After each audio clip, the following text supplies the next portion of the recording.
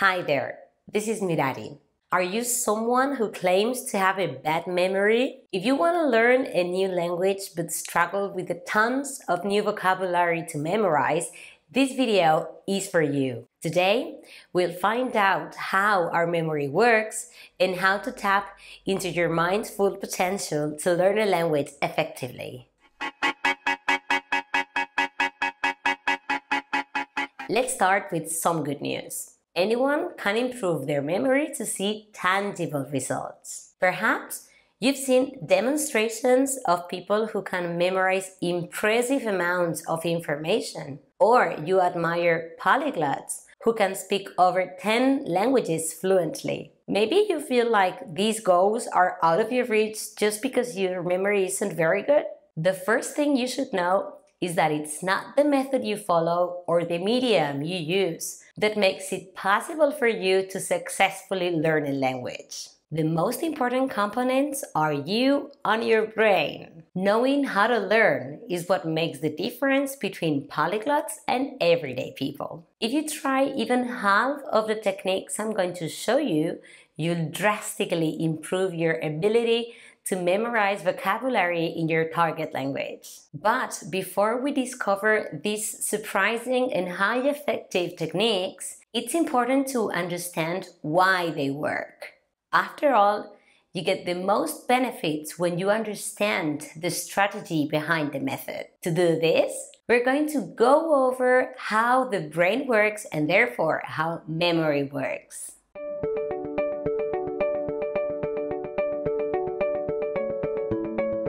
The first term you should learn is neural network. Picture this. Your brain consists of a huge network of neurons. We're talking about tens of billions of cells. Neurons have the ability to send and receive electrical and chemical signals between one another. Each neuron is capable of connecting to tens of thousands of other neurons.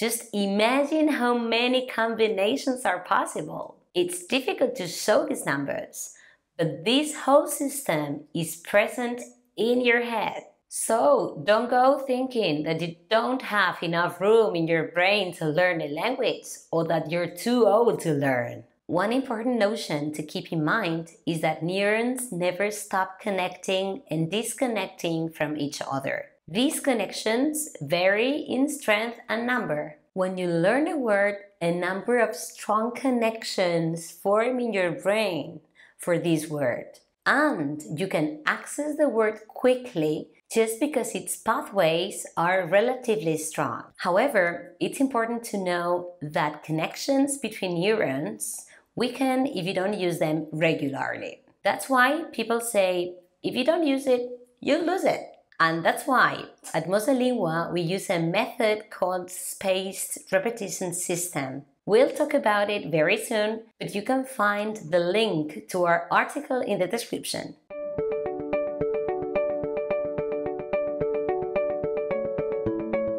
Have a look at a graphic representation of what we call the forgetting curve. Can you see the blue line?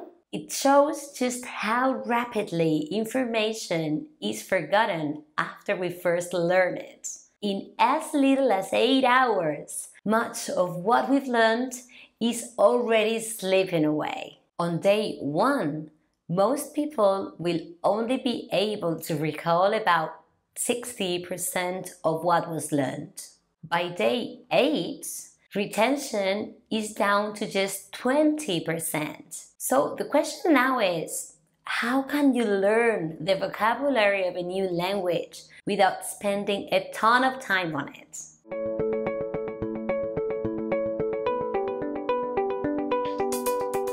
Have a look at the graphic again. Next to the blue line, there is a red one. It represents how much we memorize after the first repetition. The purple line shows how much we memorize after the second repetition. And the green one is related to a third repetition.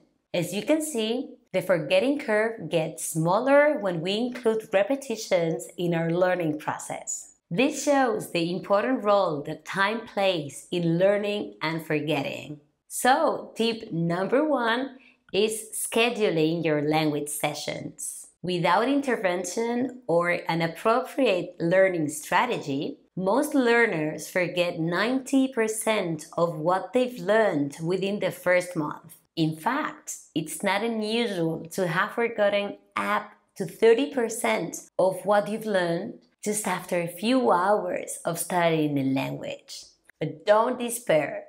With the right approach, you can ensure that the information you learn is added to your long term memory. Of course, not everything you learn or experience is treated the same way. Some memories are stronger than others and seem to stick in your brain. There are a few different reasons why this might happen. One of the most common, however, is because the memory is associated with a particularly strong emotion. So, tip number two is associating what you're learning with an emotion. But that doesn't mean that you need to be in a heightened emotional state to learn something effectively. There are plenty of tricks for learning and memorizing information. Let me give you an example. To remember the word dog in Spanish, perro, you could try to picture your childhood dog anytime you think of the word perro. If you haven't watched Lisa's video about how to create mental images that really work, be sure to check that one out next. I'll put the link in the description for you. Finally, your body chemistry can have a big effect on how strong your memory is. That's why certain lifestyles or food choices can help make the difference between a strong or weak memory from the beginning. So, tip number three is having a healthy lifestyle. Maintaining low stress levels, getting a good amount of sleep, and meditating are just a few ways to build stronger memories. We've already mentioned the importance of building a strong memory. But there's something else you can do to make sure you make rapid progress in your target language and retain 100% of what you learn. Tip number four repetition. Repetition really is the ultimate key to success. The more frequently you repeat a word or phrase that you've learned, the better you'll be able to remember it later on. Research has shown that when you review vocabulary at regular intervals, it increases your retention. As time goes on, you don't need to review words as often. Eventually, it tapers off to a flat line and the memory is secured in your brain. So let's recap what you can do to improve your memory. Schedule your language learning sessions. Associate what you're learning with an emotion. Have a healthy lifestyle. Use repetition to make things stick. So that's all for today. I hope these tips will be helpful for you as you work on your memory skills. Talk to you again soon. If you learned something new from this video, give it a thumbs up. Then, hit subscribe and turn on your notifications. Have a look around our channel for more hacks and tips. And if you're watching on another social media platform, like or follow our page. See you next time.